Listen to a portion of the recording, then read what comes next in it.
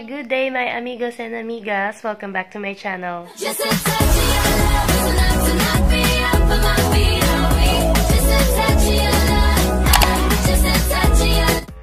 So, ayun na nga, kagigising ko lang and sama ng pakaramdam ko, but still, push natin tong video na to. Pasensya natin iba ang aking voice. Luckily, it's my day off. So, I have whole day to rest. Pero, bago ako mag-rest, meron muna tayong gagawing video. Ayan. So, kahit masama ang pakiramdam, push natin tong video na to. Kasi, I have this new lipstick. I have three shades, bagong-bago to. I just received this last night. And, natry ko na yung isa sa kanila. And, feeling ko okay naman. Ito siya. I have three shades. So, ang daming shades na meron doon. But, the thing is, um, mahal. May kamahalan siya. Pero, sana sulit. That's why I'm gonna review this lip and cheek tint. Sa bagay, uso naman yung mga ganito ngayon, eh, mga lip So, this is, I'm not sure kung ito yung brand niya. The Premium Stain. I have Sonia, which is on the dark shade. Anna Sophia, nude shade. And Katrina, which is on the pink shades. So, each uh, shades like like sa mga dark shades, sa nude shades, and sa pink shades, kumuha lang ako ng tag-iisa. Actually, hindi ito yung shade na kinuha ko. Ang tumama lang is si Sonia, which is yung pinaka-dark na shade. The rest, parang replacement lang siya dun sa original na kinuha ko. It should be Daniela and Bella. So, si Bella, ang sabi, kaparehas naman daw siya nito, halos nitong Ana Sofia. Which is parang okay nga. Pero kasi si Bella, medyo pinkish. Nude siya na may pagka-pinkish. Parang ganon. Pero ito kasi nude talaga. Let's see later. Then si Katrina, hindi ko din, kahit nung nag-choose ako ng color, hindi ko naisip na pipiliin ko si Katrina. So, sana, sana, okay si Katrina instead of si Daniela. Daniela kasi is parang pale pink.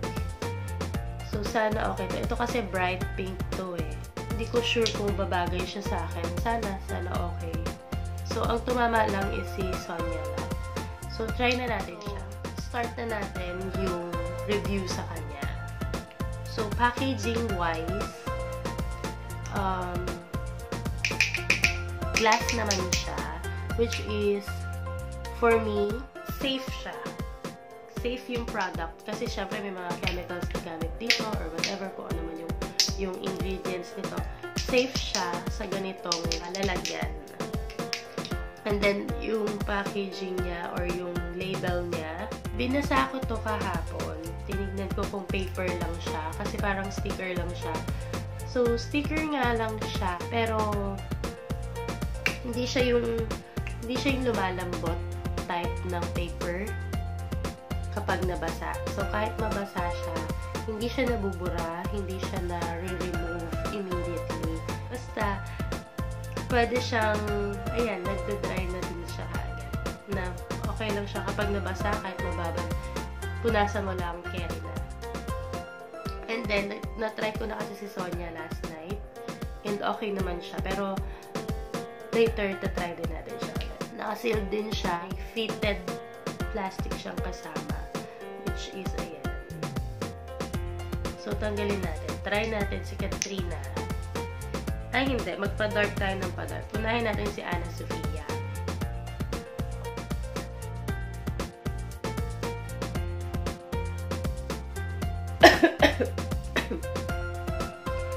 Pasensya na medyo masama talaga pakiramdam ko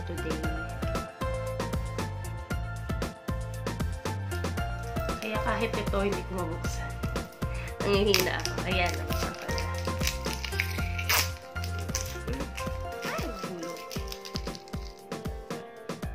So, ayan, si Ana Sofia. Hindi kasi ako marunong maglagay ng ganito. Para siyang roll-on kasi. Look. Para siyang roll-on. So, hindi ko siya kayang i-apply. Lumalagpas. So, ito. Try natin si Ana Sofia.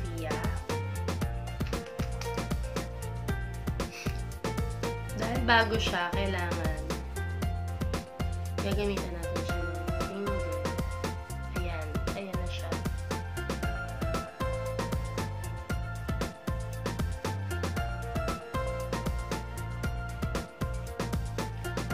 Kasi ako gum- marunong gumamit ng roll-on. Kaya, need ko ng help ng aking finger.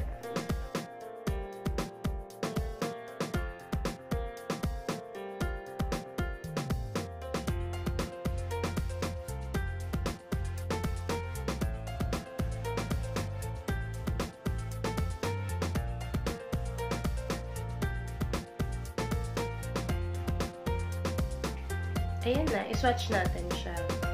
Paano ba?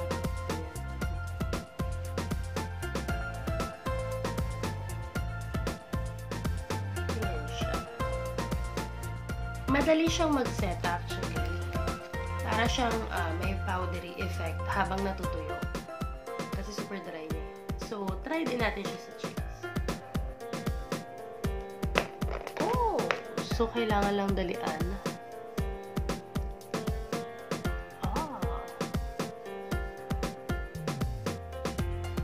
Kasi nga madali siya mag-set, so kailangan dalian natin siya.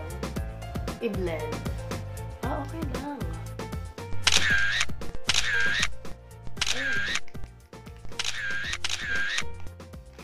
So, ayan. Nalinis ko na ulit ang aking face. Na-remove ko na si Ana Sofia. Try naman natin ngayon, Katrina. Open natin. Kasi naka-sealed pa siya.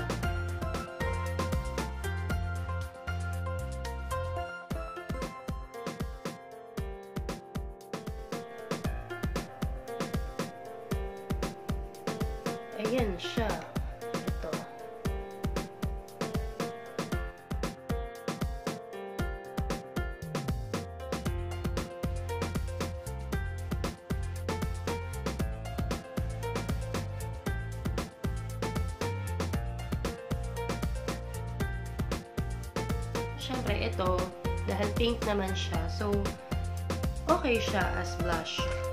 Gamitin natin siyang blush. Ay, medyo napadami.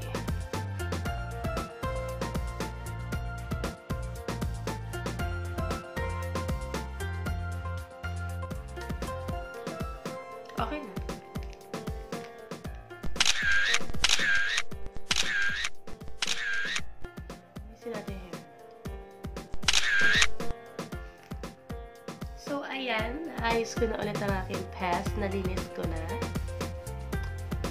Try naman natin. Na-try ko na to last night. Pero hindi ko na i-vlog. So, papakita ko sa inyo. Si Sonia. Which is kasama sa original oh, choices ko. So, ayan si Sonia. Maroon type. Brown chumba.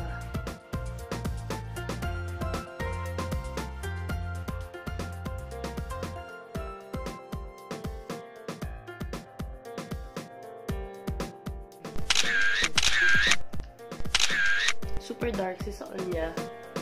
Hindi nyo lang siguro nakikita masyado. Pero ayan, super dark siya. Ito, yung gustong gusto kong itry as blush on. Kasi, paano magiging blush on yung ganito ka-dark.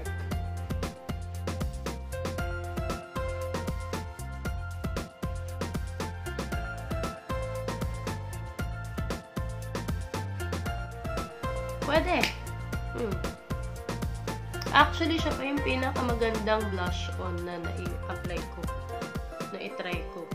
Dito, among the three of them, ha.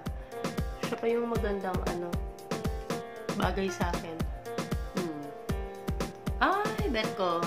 Alam nyo, hindi talaga ako nagsisisi na kinuha ko si Sonia. I know na talaga kung ano yung mga bagay sa akin. Wow. Sonia.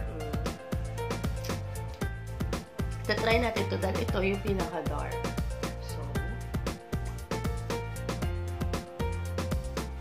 walang nag-transfer.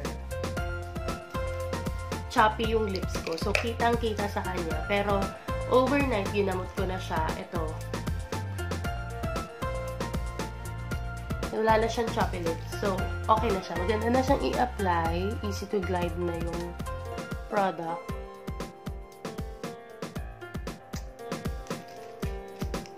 Kaya kailangan, pag gagamit kayo ng mga ganitong uh, product, not just this brand, pero yung mga iba pang product, liquid lipstick, mga ganyan, kailangan in good condition talaga yung lips ninyo. Um, make sure na every night, naglalagay kayo ng mga lip care, not just the skin care. Pero din kayo dapat lip care para maayos siya overnight. Para pagising niyo sa morning or kung kailan niyo kailangan mag-lipstick, okay yung condition ng lips ninyo.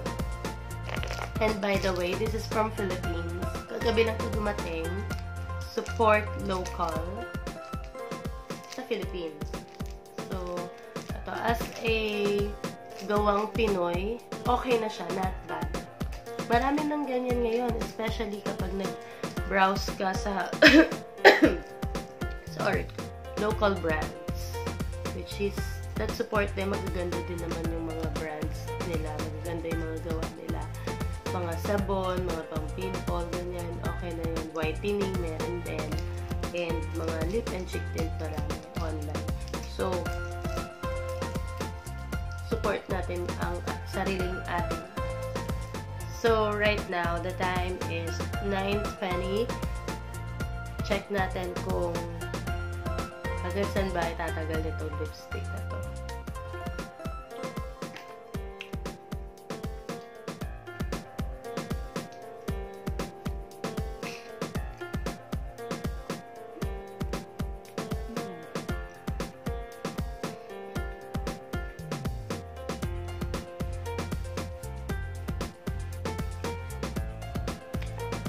So, walang... Ano ba yun? May sauce ako. Walang kumapit sa pizza. So, normally ganun, di ba? Kapag kumagat tayo or kumain tayo, na nagkakaroon ng stain sa food yung lipstick natin. Like this. Mm wala siyang naiwan na color or wala siyang naiwan na stain pizza. Ito, yung nakikita ninyo, ganyan. Ako may gawa niyan. Kaya sabi sa inyo, hindi ako marunong gumamit ng roll-on. So, hindi malinis yung pagkaka lagay ko. Kaya kahit nung um, ginamit ko na tong daliri ko, pangkalat, hindi pa rin siya naayos maigi. So, nasa sa inyo kung gagamit ba kayo ng brush, ng kung anong pang-apply, or daliri na lang din, or ayan, kung okay naman sa yung roll-on type ng lippy. Kung sanay naman kayo at marunong kayong gumamit ng ganun, okay lang din. Pero ako kasi hindi. Kaya yan, lagpas-lagpas siya, pero pwede na, laban na. Ayun. Walang na-transfer.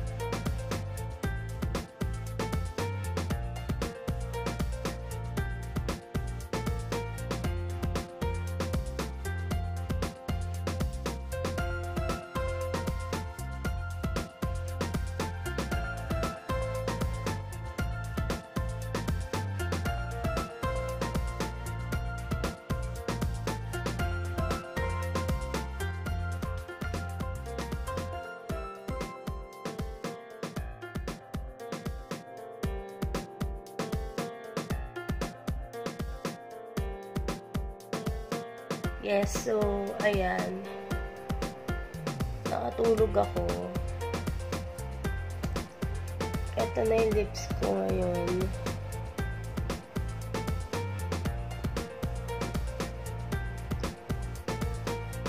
Ito yung blush on. Pack na pack na rin yung blush on. Pero yung lips, dahil nga sa kumain na ako kanina,